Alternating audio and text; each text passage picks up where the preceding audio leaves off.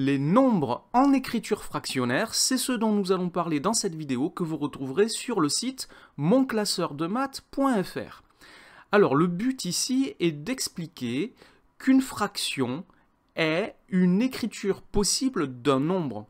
C'est une écriture possible d'un nombre. Alors on va travailler sur des exemples et on va expliquer euh, un petit peu cette écriture.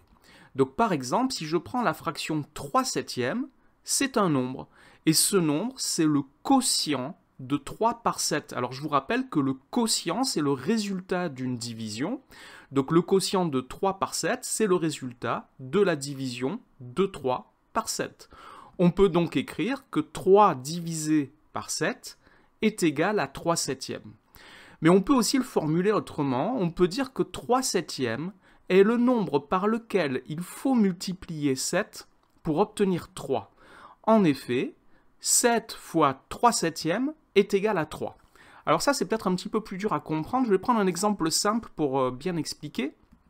Si par exemple, je me pose la question, par combien je dois multiplier 5 pour obtenir 10 alors tout le monde sait qu'il faut multiplier 5 par 2. 5 fois 2, c'est égal à 10.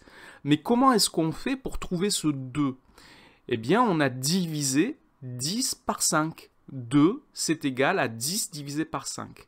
Et d'après ce que nous avons dit tout à l'heure, le quotient de 10 par 5, c'est égal à 10 cinquièmes. Donc 2 est égal à 10 cinquièmes. 10 cinquièmes, c'est le nombre par lequel il faut multiplier 5 pour obtenir 10. Alors on va travailler sur euh, d'autres exemples pour bien comprendre cela parce que c'est important.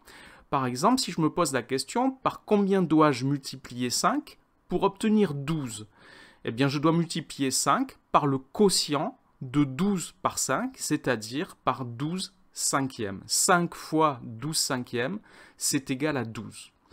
Par combien dois-je multiplier 3 pour obtenir 4 Eh bien, je dois multiplier 3 par le quotient de 4 par 3, c'est-à-dire par 4 tiers.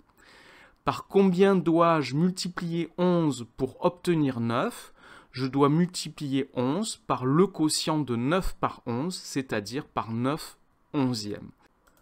Voilà donc ce qu'il faut savoir sur ces nombres en écriture fractionnaire. Il est important de comprendre ce que représentent ces nombres.